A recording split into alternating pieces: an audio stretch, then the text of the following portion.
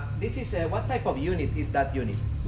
A split unit with the condenser uh, separated from the evaporator. And uh, the, the lines are high pressure, high pressure lines and low pressure lines. Uh, and uh, normally those lines are they, they are together, no? Separated, of course, with insulation, no? In order to avoid that uh, the temperature of one uh, line affect the other one.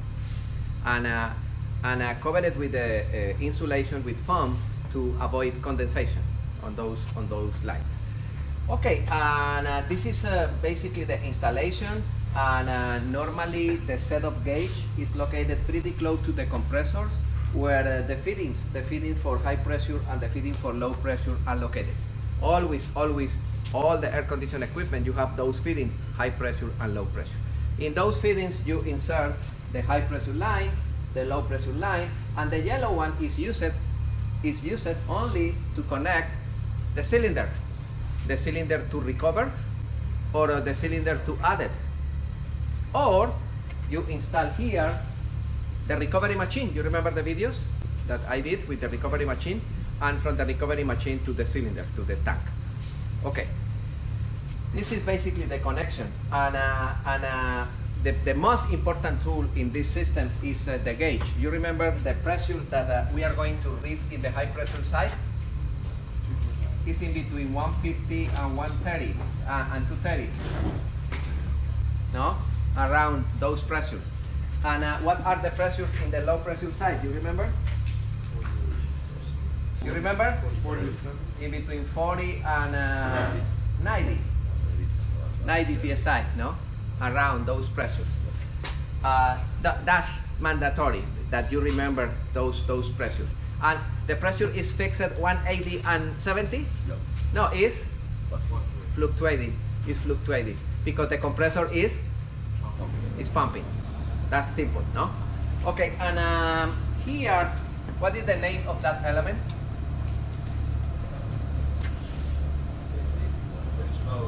The capillary pipe or or expansion valve. In some uh, air conditioned uh, units, you don't have a capillary pipe, you have expansion valve, thermal expansion valve, or pressure expansion valve. But all of them are exactly the same.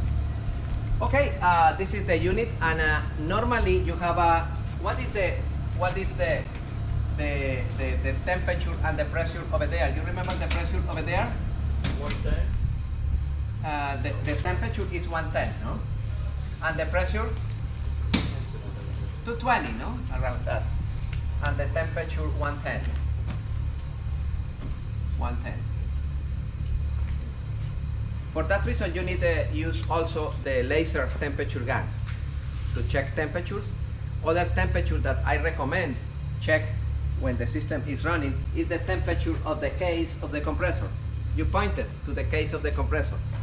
How much should be the temperature in the case of the compressor when the compressor is running for a long period of time? It's around 120. Yeah? It's too hot, no? You touch the, the body of the compressor and the compressor is too hot. It's important that the, the temperature laser gun to check temperature on the pipes, to check temperature in the body of the compressor, and uh, be familiarized with the air conditioning in your, in your boat. Uh, the air condition right now is running good. Okay. That's the moment that you check temperatures. Uh, check the temperature of the body of the compressor. Check the temperature uh, here. Touch, pointed over there. What is the temperature? It's running good. It's not leaking. It's perfect. If in six months I have problems, I have copy, I have information in my logbook about what are the, the conditions when uh, the, uh, the air condition running is, is running in good condition, no? Oh, okay, and right now let me check the, oh, it's too high. Normally it should be that one. And that one, oh, it's too high, it should be that one. Yeah? Try to do that, those comparisons, not only with air condition, with the rest of the, uh, the system in your boat. For example, uh, uh, you know that uh, in diesel engine you have a gauge for the high pressure in the common rail, no, for the for the fuel. Be familiarized with the pressure when the when the engine is in, in normal condition. Okay, that pressure is in that point. Let me copy in the logbook. Probably in in three months I have a problem, and I am going to check. Oh, right now the pressure is too low in the common rail. Normally it should be, and I have the picture. Yeah, take picture of the DC panel, of the AC panel, about the voltmeter and ammeter in normal in a, in a normal day with the, the normal amount of breakers running. Normally I have 60, 70 amps in normal conditions uh, in this panel and in this panel. And now I have 120 amps and 140 amps. Something is wrong, no? That, that's, that's why the reason uh, the breaker pops periodically. Good? Is, is clear? When, when, when everything is okay, is the moment to check. Is the moment to read. Ah, the air condition is running perfect. Let me check the flow of water outside. Oh, nice. Normally it's like a, the water goes five feet. I have problem today with the, the air condition of the saloon and the water is coming only one feet out of, yeah? That's, that's not normal. Check, check the normal condition. Be familiarized with the normal conditions. The same with the odors. You know the odor of your engine room, no?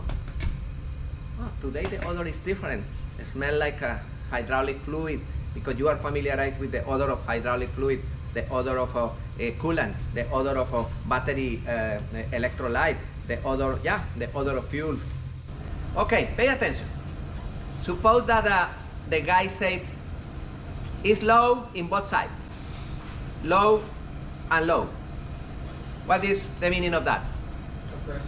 You have what? You have low pressure, it's running, but you have low pressure in both sides.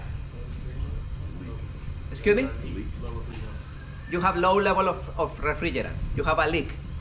And uh, what is the first step when you have a leak? Add it?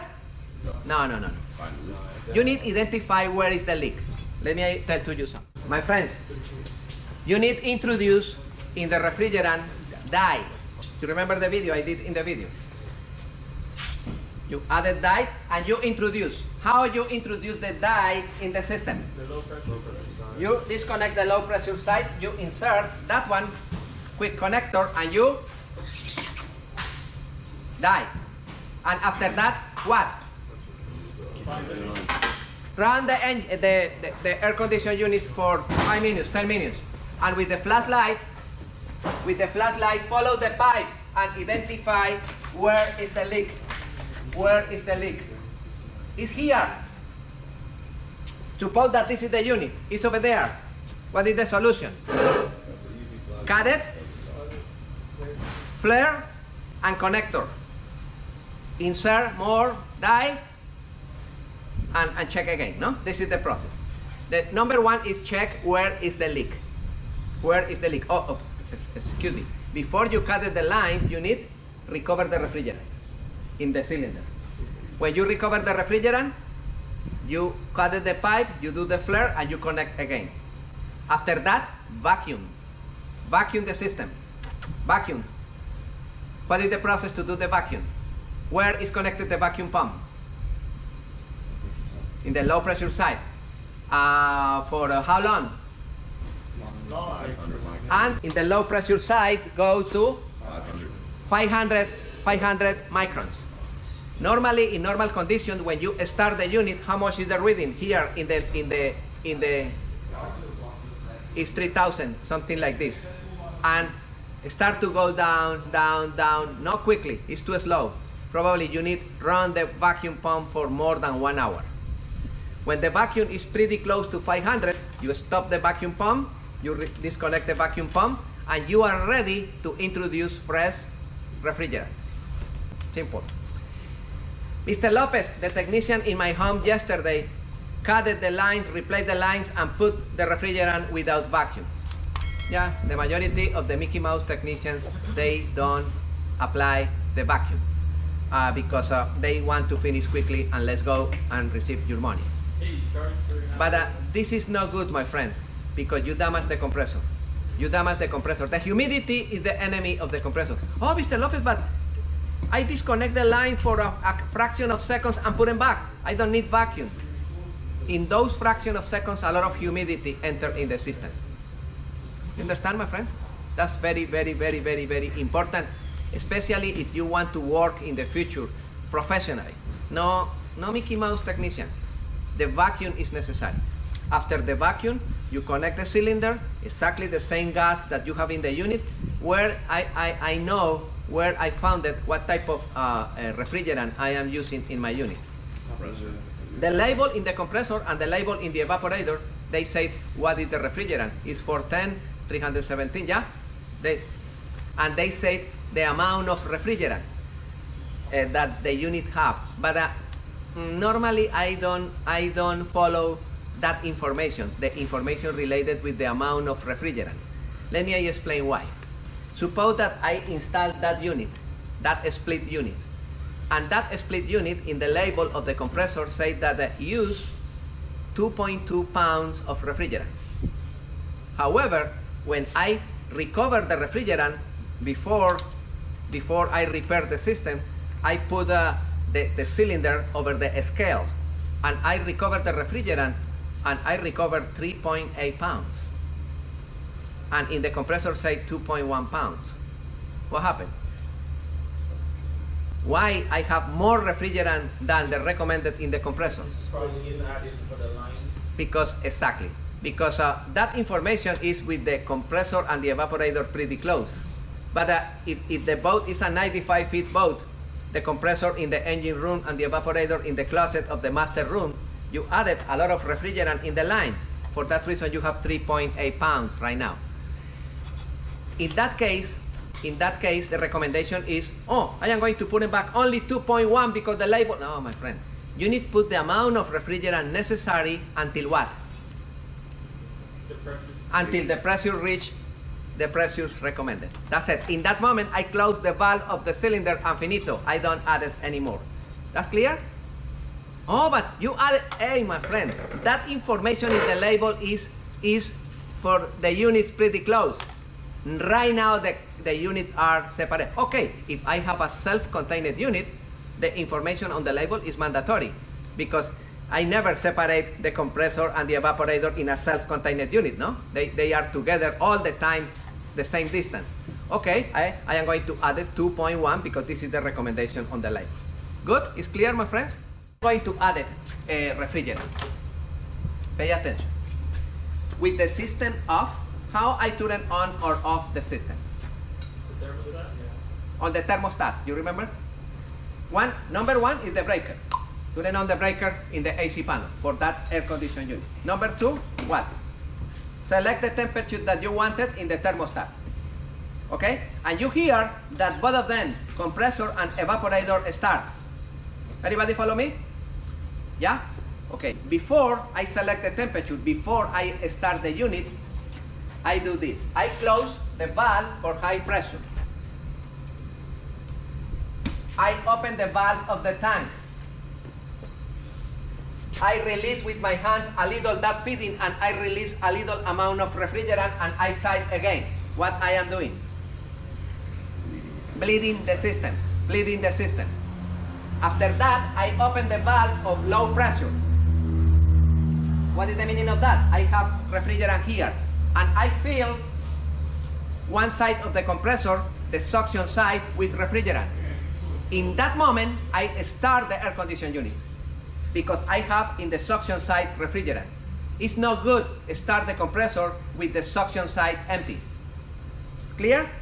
And now, and now the compressor start to run. I open completely the valve of the cylinder and I run the unit, run the unit a couple of seconds and I open the valve of the high pressure. Right now, both gauges are reading. Yes or not? And I continue running the unit in maximum air condition with the grills open. And uh, I see that the gauge are going up, going up, going up, going up, going up, and suddenly I am in 180, 200, uh, 40, 60, uh, 40, 70, 180 to 30. Okay, I close the valve, close both gauge, and I run the unit for a couple of hours. And I check, I check the quality of the air. It's good. Once again, I open both valves with the cylinder closed, both valves, and I check pressures. Good in low pressure, good in high pressure. My pressures are good. The air condition is running good. The compressor, I touch the body of the compressor. It's normal, it's warm, but it's not ultra hot. That's perfect. What about this drain? This is what? Evaporator. Water, she said, fresh water. What type of water is that water? Fresh water. It's fresh water. Why fresh water? Where is coming that fresh water? From the atmosphere. Because the pipes, those pipes are frozen. When the ambient air pass around those pipes, what happened? Water around the external surface of the pipes drops by gravity, condensation. This is fresh water. And that fresh water normally is coming out or in the bilge, and with the bilge pump, you pump it. But uh, if it's like this, you need create that loop. What is the name of that loop? P-trap. What is here? Fresh water. What is the function of the P-trap? Avoid that gases enter. Because normally that air conditioned unit is located in, in, in, in the room, no? In the closet. What happens if a carbon monoxide enter and penetrate the cabin? The big sleep. Finito, no more. That's okay?